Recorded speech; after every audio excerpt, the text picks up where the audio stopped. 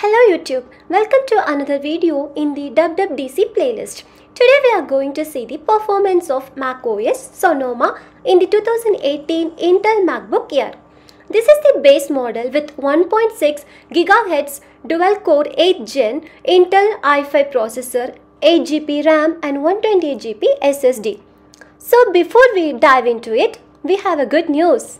Now we no longer need to be part of Apple Pay developer program to install the beta software versions.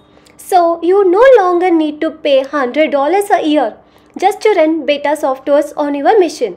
And there is no need to get beta profiles. All you got to do is log on to developer.apple.com with your Apple ID which you have signed into your device and that's it. Magic happens once you go to the settings and go into the update section. You get an option to turn on beta updates and here we get to see macOS Sonoma update available for us. This can be followed across all Apple devices and once your Apple ID is logged into developer account, it can be used in all of the devices on which you have logged in. So your iPhone, iPad, Apple Watch all would get this option and it's completely free. As you can see the comparison between sign in with Apple ID and Apple Developer Program, now the OS beta releases can be done by all. Only if you want to develop an app to App Store, you would require this account. So I am really glad this has been made hassle free. Now coming to the macOS Sonoma features with the 2018 Intel MacBook Air. We shall see the two major changes and five simple but significant updates. Number 1. Screensaver wallpapers. This is similar to what you get with Apple TV screensavers or a better version of live wallpapers in Android terms. It's a smooth, slow motion landscapes that cycles through different selection of screensavers and once we log in seamlessly becomes your desktop wallpaper. These are of really high quality as it takes a while to just download one item and works brilliantly especially when I have it connected to external monitor. Then comes the number 2 widgets. Well, Apple is going on in all for the widgets. They introduced first uh, on iOS, then to iPad OS, and then finally they are on Mac OS as well. In the last update, we got a widget bar to the right and with Sonoma, we can literally place it anywhere on the screen. When you try to place near a widget, it gets snapped into a compact arrangement and also can place it freely in middle of the screen too. And why not? Can also fill the screen with different useful glanceable widgets and they are also interactable ones. How cool is that? Now coming to the 5 subtle changes. Number 1. Safari now gets profiles which we can set for work and personal stuff. But I couldn't find it and only tab groups were visible as of now. Also we can place web pages as an app in the dock. So can quickly launch one. Number 2. FaceTime improvements which are limited to Apple Silicon Macs or requires a continuity camera for the futures to work with iPhone 12 or above.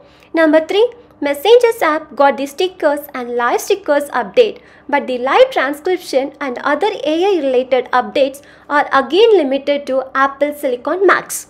Number 4. PDF and Note update. Luckily, even the Intel Macs get this and can see my iPad mini 6 running iPad OS 17 video for that. Number 5.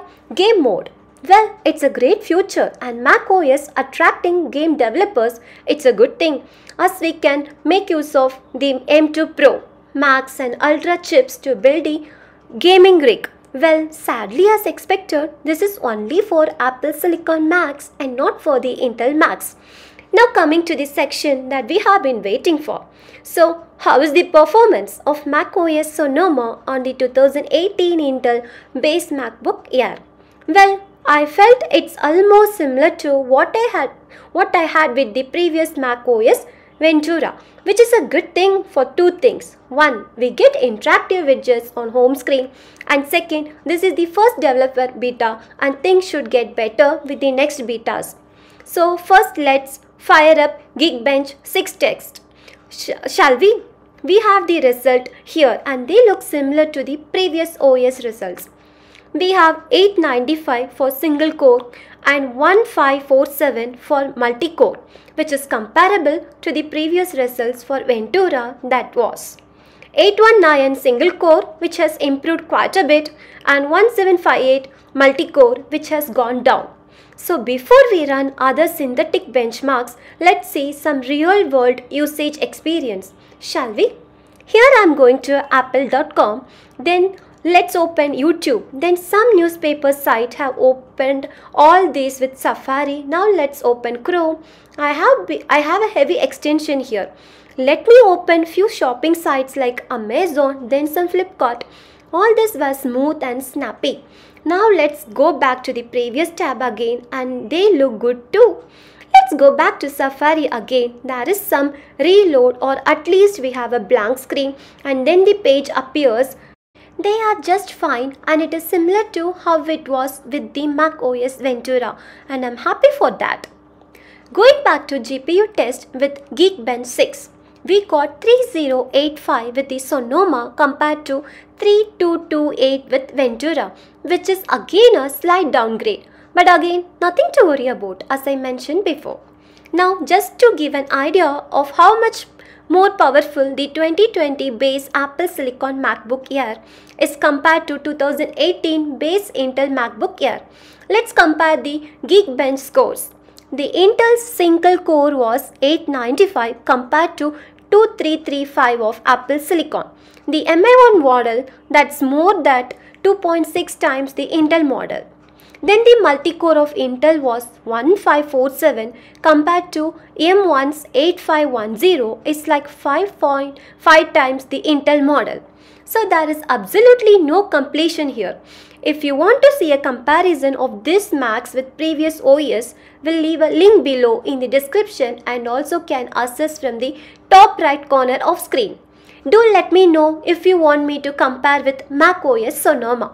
Now, most people use MacBook Air for web browsing primarily, so let's see some speedometer test which simulates the web browsing performance. Well, I got 113, which is really commendable for this kind of devices given its age and again there is no much difference here with Sonoma.